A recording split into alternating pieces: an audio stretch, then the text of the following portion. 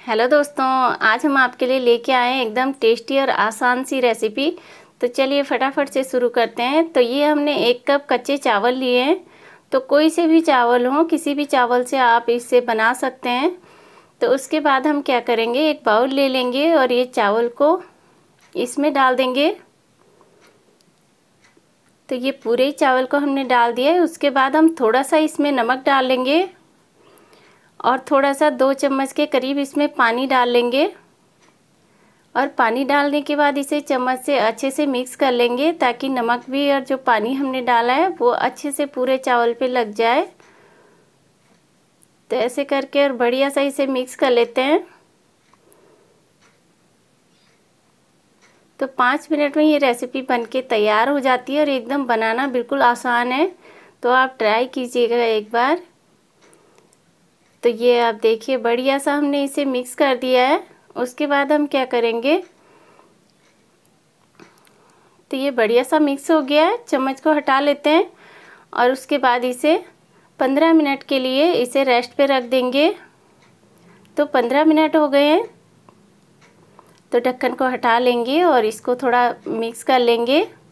तो अच्छे से चावलों में पानी बिल्कुल भी नहीं है। एकदम बढ़िया से वो हो गए हैं। मतलब पानी जो हमने डाला था, वो बिल्कुल इसमें मिक्स हो गया है।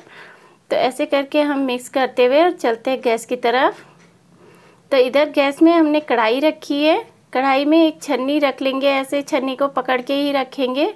और थोड़ा थोड़ा आधा आधा चावल इसमें डालेंगे और इन चावलों को अच्छे से फ्राई कर लेंगे। तो ऐसे करके और एकदम खिल जाएँगे ये। तो थोड़ा सा हल्का सा कलर इसमें ले आएँगे थोड़ा थोड़ा तेल से हटाते रहेंगे। ताकि ये पता चल जाए कि ये फ्राई हो गए हैं। तो ऐसे करके एकदम से जल जाएँगे अगर हम नीचे ही रखेंगे छन्नी को कढ़ाई में। तो ऐसे करके थोड़ी देर तक हम इसको अच्छे से फ्राई कर लेते हैं। तो ये आप देखिए, बढ़िया सा ये फ्राई हो गए हैं। हल्का सा कलर भी चेंज हो गया है। तो इसका तेल निकलने देंगे थोड़ी देर। तो ऐसे ही करके हम सारे चावलों को और ऐसे ही फ्राई कर लेंगे। ऐसे थोड़ा थोड़ा तेल में डुबोएँगे इसको और उसके बाद थोड़ा उठा लेंगे। तो ये आप देखिए, एकदम खिले खिले से हो रहे हैं। तो ऐसे ही कर, करते हुए और सारे चावलों को हम फ्राई कर लेंगे। तो ये आप देखिए, ये भी बन के तैयार हो गए हैं। तो उसके बाद हम क्या करेंगे? सारे चावल फ्राई करने के बाद हम पंद्रह से बीस हैं ये कड़ी पत्ते हैं। तो इसको भी हम ऐसे ही फ्राई कर लेंगे तेल में। तो ऐसे ही करके और थोड़ी करारे बना लेंगे इससे कड़ी पत्ते को। तो ये आप देखिए, कड़ी पत्ते भी बढ़िया से फ्राई हो गए हैं। उसके बाद हम फिर से छन्नी ले लेंगे और ये थोड़ी सी मूंगफली है, दो तीन चम्मच के करीब। तो वैसे ये फ्राई मूंगफली है, लेकिन आजकल बारिश की वजह से थोड़ी सीली सी हो जाए, हो जाती हैं। तो हम इसे फ्राई करेंगे तो एकदम करारी सी हो जाएँगी। तो ऐसे करके और थोड़ा सा इसको भी फ्राई कर लेते हैं। तो हल्का सा इसका भी कलर चेंज कर लेंगे। तो ये आप देखिए, बढ़िया सी ये भी फ्राई हो गई हैं। तो सारी चीज़ें हमने फ्राई कर ली हैं। उसके बाद ये आप देखिए, एकदम बढ़िया से हमारे जो चावल हमने फ्राई किए थे एकदम करारे से हैं। तो अब हम क्या करेंगे कि इसमें थोड़ा सा हम काला नमक डाल देंगे। आधी छोटी चम्मच से कम है। तो काला नमक डाल देंगे इसमें। उसके बाद हम क्या करेंगे थोड़ा सा इसमें चाट मसाला डाल लेंगे।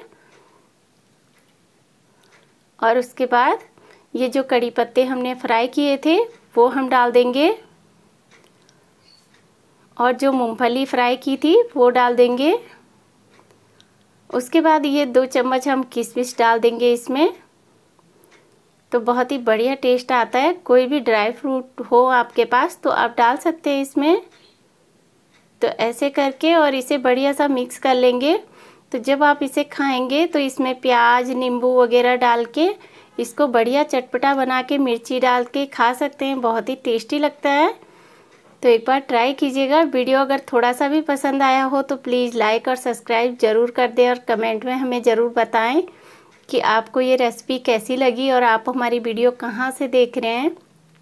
तो वो ज़रूर बताइएगा और इसको चाय के साथ या फिर ऐसे ही भी खाएँगे। बहुत ही टेस्टी लगता है तो एक बार ट्राई कीजिएगा। Thank you.